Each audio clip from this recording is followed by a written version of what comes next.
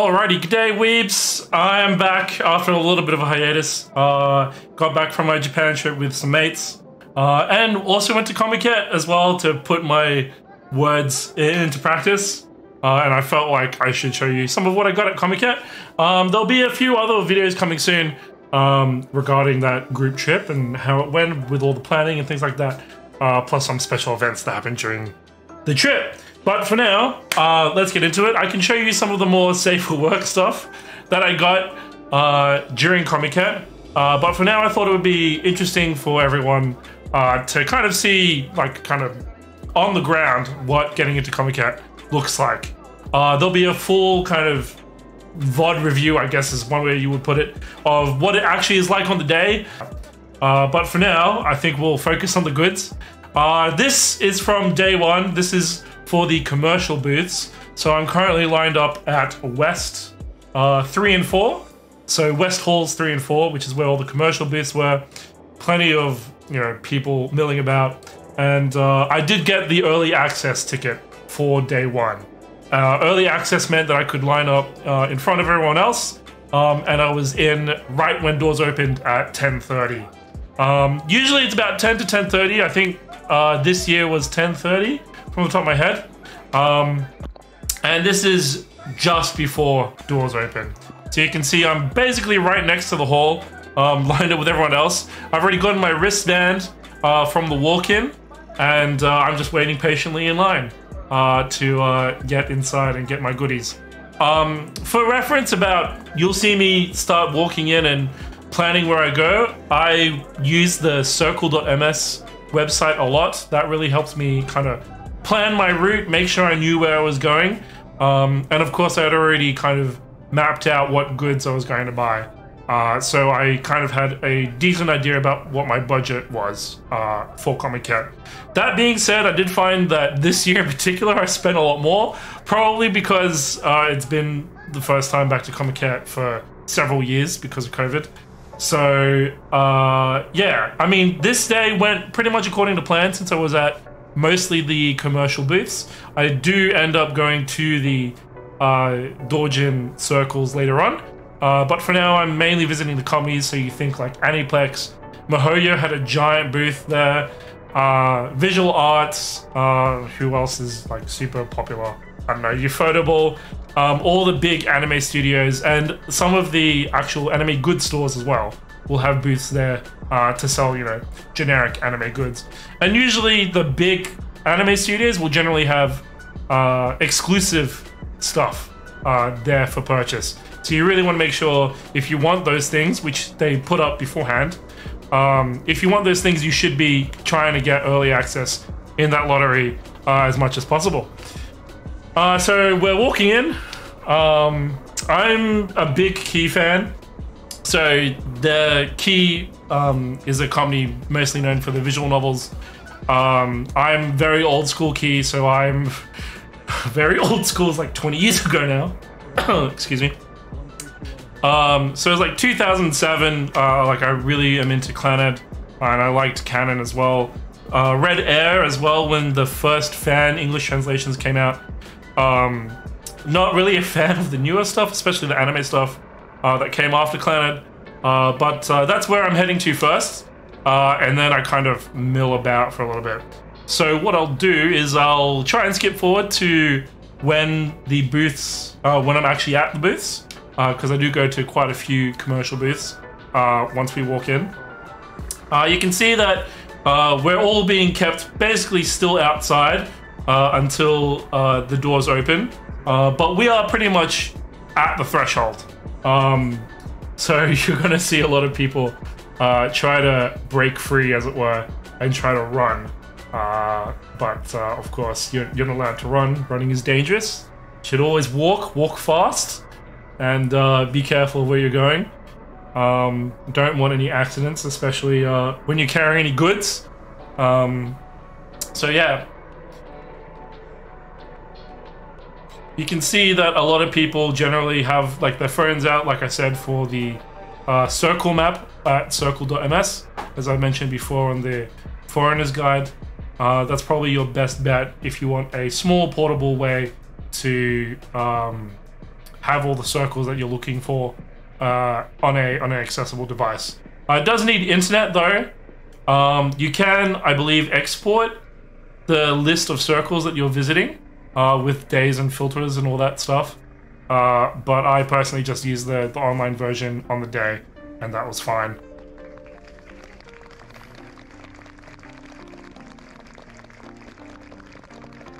So that's the that's the announcement that it's opening. I'll just turn up the volume a little bit on it.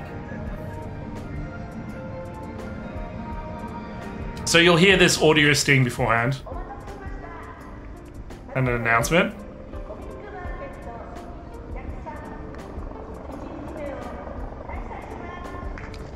So thanks for waiting. Uh, I'm proud to announce that Comiket 103 is open. And uh, you can see everyone starting to rush in.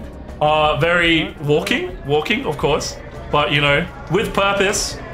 Um, I apologize a little bit for the GoPro footage if it because it's unstabilized. It's currently on my left shoulder, uh, just to give that nice POV view. Uh, so you can see that there is still kind of queue management as people kind of walk in, uh, because there's only a set number of entries uh, into Comiket, even for the early access, to make sure that all the kind of crowd management options still work properly. Uh, you can notice a lot on the floor that there are there's tape out for all the queues, things like that. Lots of people walking around with uh, kind of advertisements for all the booths. Uh, I think here I will quickly fast forward to when I get to the booth. Because it'll take a little bit. I think I waste a little bit of time on a map. Hang on. Oh no, I just get in I just get in line. Okay, here we go. So this is the visual arts booth. Uh, you can see there'll be people with kind of these standing signs that tell you um, what's on sale if you're still like kind of browsing, window shopping as it were. And you can see that there's, you know, queue management going on, crowd management. So I do want to point out that this thing in my hand right now is uh, the order sheet. So on the website, they'll have on the website for all their goods. I can't look it up now because I think it's down, uh, but I haven't checked yet. Um, on the website, they'll have all their goods listed with all the numbers as well. And then on the order sheet, they'll have those same numbers. So you can check already what numbers you want to buy, and then you can just go, yep, I want one of number 12 or whatever. Uh, in this case, uh, I hadn't made that thorough of a check, but I was pretty sure I was buying most of the Clannad stuff, which I do have. Um, so I think what I end up buying if I fast forward a little bit. Because they didn't have much, I was really hoping they would have some of the more exclusive Clannad art. They used to have um, kind of limited print run uh, framed art uh, kind of stuff that we put on your wall that looks really nice. I have one from the Clannad anniversary, the 20th anniversary, uh, I think on my wall of Nagisa and Ushio. That was pretty nice. Um, but here, I don't think they had anything too exciting in terms of Clannad merchandise. Um, so one of them, which I'm actually using right now, that I bought when we get there. Actually, I'll show you now before I get to the thing so you can see the, the buying process, I guess. So I got a... Ooh, ah, wonderful. So the filter kind of just fucks it up. But that's the, um, that's the uh, mouse pad uh, which is pretty nice. Uh, a little bit expensive, but you know, that's how exclusive much is. Uh, I also bought the key calendar kind of memories um, or records, I guess is one way of putting it. Uh, so these are all the calendar images uh, that were printed for all the uh, Comiket uh, calendars from 2007 to 2022 uh, which is pretty neat if you never got to collect those calendars. I did get a key calendar one year, I think in 2015, uh, but I never managed to uh, pick up any other calendars, so that was really good to get. Uh, and then the last thing I got was like a little tote bag type thing uh, with the Dango Daikazoku on it, and then uh, a keyring of a dragon Dango, I believe, because it's the year of the dragon, which it just is now now that I'm now that I'm recording this. Um, so that was all basically all the goods I got because it was all kind of related. Um, obviously, you don't have to go as hard on, on what you'd like uh, as I did.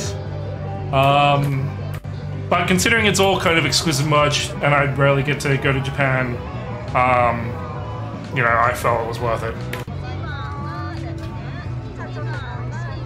So one thing that has improved over previous Comic-Cons is that a lot of the a lot of the commercial booths now take card, uh, which is something that I hadn't realized until I'd gotten there, and I was like, oh, you guys all have you know mobile card readers and things like that. Uh, so I end up paying a lot of this with card um, instead of using cash because I use the cash more for the Dojin circles, things like that, where they don't necessarily have that same technology. Which is still true for the Dojin booths, yeah, that they don't have, um, they can't take card as uh, readily.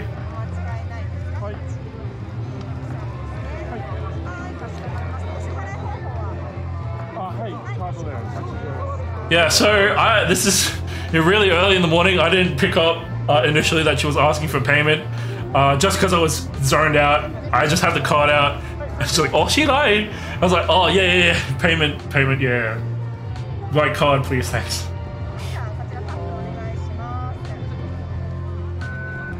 Yeah, so they, they do tap, which is amazing, actually, by the way. That most of Japan, most of the big cities now do tap. Uh, probably because of COVID. Uh, you can see that I still have to sign, which is a little bit odd, but that's Japan.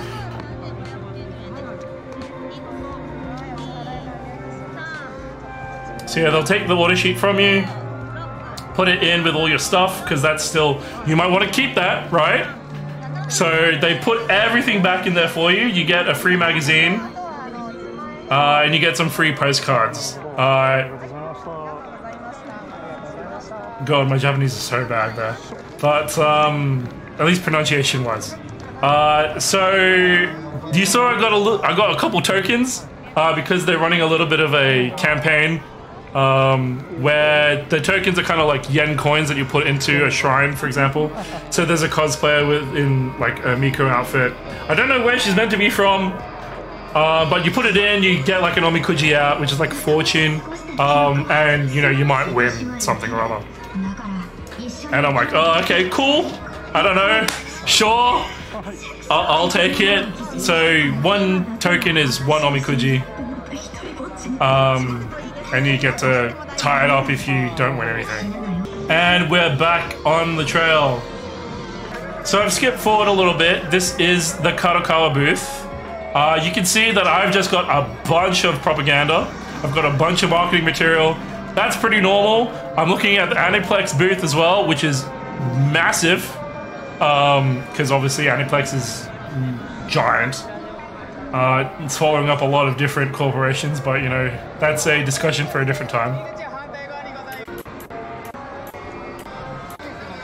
Uh, I'm still walking through all the corporate booths, trying to decide where to go to next. I figure Kadokawa is probably my best bet, I think. Um...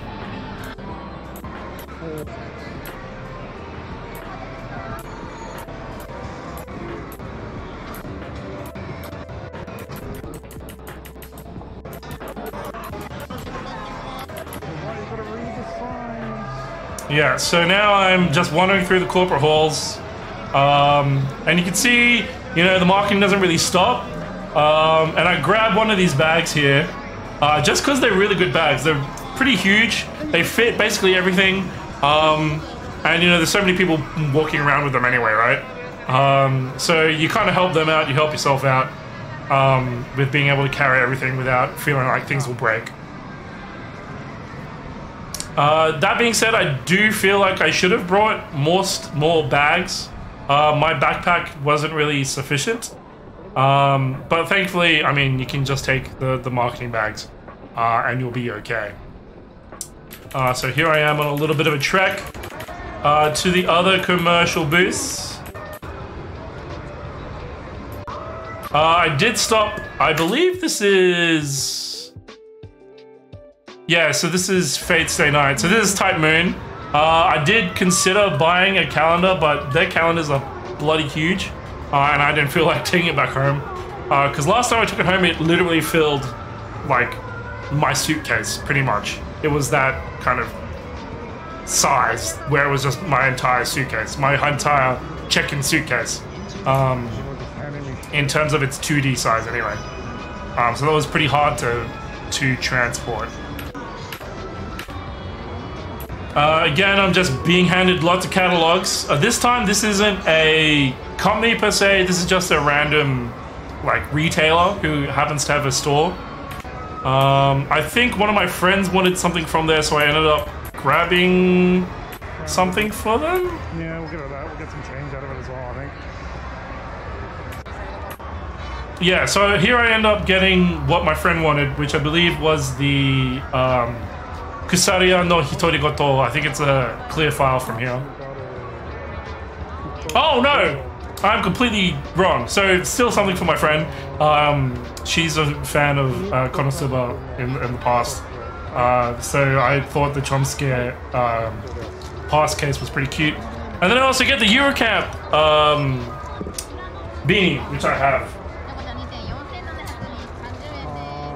Because uh, I'm I'm a fan of Yuru Camp, obviously. So I still have that that uh, beanie. Uh, and this is also where I start putting in bigger notes just to be able to get some uh, change, because that way um, I can use that change, the smaller like thousand yen notes instead of five thousand, uh, at different uh, Dojin circles and things like that for later on in the day. So we'll continue on. This is the Kadokawa booth, and the Kadokawa booth was also bloody huge.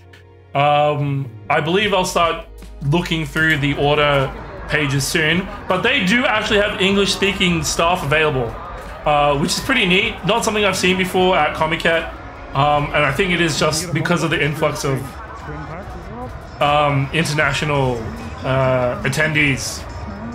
Uh, thankfully, I don't really need it, uh, but you know, it is there. At least at the at the Kadokawa booth. That doesn't necessarily mean that they'll help you for other stuff in in the convention, uh, but at least for ordering from Kadokawa, um, you can understand. Here, yeah, there's a massive order sheet. Um, I only got one thing, so I will uh, skip all the way through this. Kadokawa was a whole bunch of different anime properties. Um, some of the items were a little bit more questionable than others, I've got to say. Certainly things that I would not buy. Um, not just because I'm not a fan of those those series, but uh, the queue is quite long. Uh, so this is like the backside of Kadokawa, um, and you can see how long it would take um, if I just played the the video at normal speed. Um, there was a massive queue from the back around the side at the right, and then finally you come up to the front. Um, one thing I will say is that they did have a Haruhi and uh, Lucky Star anniversary event going on this year because of the 20th anniversary uh, in 2007 for Lucky Star. Um, so they kind of just merged the two. Uh, but at Kadokawa, I got one thing only because there was only one thing they had that was of interest to me, and that was the Lucky Star acrylic stickers there. Um, so they're stickers, but they're fully acrylic, so they're actually like uh, solid, and you can kind of stick them on whatever you want. I still haven't kind of decided where I want to put them, and they were also kind of expensive. I think they were about 4,000 yen for the pack, which is about 800 yen per thing. Um, so that's pretty expensive, uh, considering what else you can get um, for that kind of money, like a tapestry and things like that, which you can see kind of all across the side here of Kadokawa. You could also buy Call of Duty Modern Warfare 2 and 3 on PS3 if you really wanted to for about uh, $110, I think, Australian. Uh, I think it was 11,000 yen. So that's kind of cheap if you think about it, because you're getting two games for the price of one, essentially. Um, which I thought was just pretty funny. Uh, but you can see that the same process is happening. Um, the staff are just grabbing my order, and you don't really have to say anything as long as you fill out the order sheet correctly. Um, everything is kind of done there for you. Uh, probably Yeah, so she asked if I wanted a bag, and I said yes, because you can never get enough bags. and then, you know, what I'm paying with. Alright, so I'm out of Kadokawa. Um, and this is just kind of showing you this is Comiket. These are the corporate booths. And at the Dojin circles, it only gets more crowded, more crazy. Um, yeah, it's it's an experience. If you haven't gone and you know you like anime at all, really, I really highly suggest um, going. Even if it's for just the AM, if you don't want to get up at four or five AM or whatever, um, at least try and get there in the morning. Because by 2, 3 p.m., everything's gone. It's closing down. Because Comiket opens from 10, closes at 4 p.m. Generally. Um, so try and get there in the morning. Um, and and have a blast really. Um, if you you don't have to necessarily plan it out uh, like i did. Here i'm just trying to find a cosplayer that i like. She said she was working at mihoyo um, so i'm just trying to sneak in a picture. Um, i don't necessarily play the mihoyo games um, but i followed her from from a little while back from my first comic con so i just wanted to snap a picture. Um, anyway yeah like you don't have to go all out find the maps etc you don't have to line up for early access at 4, 5 a.m., 6 a.m. Um, but just go and have fun, absorb the atmosphere. Um, you know, buy a couple, buy some merch, buy some Dojins, because um, it is one of kind. Um, these kinds of events in Japan, um, there's nothing else quite like it, uh, unless I think you go to like the the big uh, like AX in Los Angeles is obviously like massive as well, uh, Anime Expo. But um, yeah. Alright, so I'm in the East Halls now. I've kind of fast forwarded through all the like walking and stuff around like that. Um, because I think I because I already knew like on the first day I was going to be stuck in the commercial hall, so I didn't really think about um, the Dojin circles very much. Um, but you know, they sell more than just you know books and manga and stuff like that. You can find all sorts of different cool things. Uh, and in this case, I ended up finding a couple some cool, cool keychains, uh, actually, um, which I thought were pretty neat. So these are like replicas of, of different uh, guns. Um, so I, I, picked up a few. Uh, obviously, they're not real, and they are keychains. But I thought they were pretty neat, uh, just because like they kind of uh, laid together wood, uh, I guess is one way to put it. Um, and they're pretty accurate for for the medium that they're working in. Uh, I think I also came here because the stall next to them uh, was doing kind of like a uh, rubber band launches, I guess is one way of putting them. So like guns where you could like shoot rubber bands at your friends. Uh, but I I ended up not buying any because they were kind of expensive. Um, and they weren't really what I was looking for at the end. I thought they would be more sort of replica-y, uh, but they ended up being more just contraptions that, that throw rubber bands at people. Uh, we're picking up some other knickknacks. If you're looking for, you know, cute stuff, keychains, uh, pen holders, all kinds of random stuff, there's there's all kinds of things at Comiket. Um, it's everything that's made by other people. It's a giant artist alley. Um, you know, for example, here, he, like my friend's buying a piece of toast. Um, it, it's great.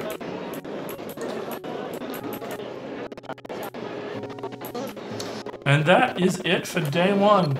So yeah, that's most of the safer work stuff that I bought at Comiket. I might go through the artists that I ended up buying stuff from uh, in a different video.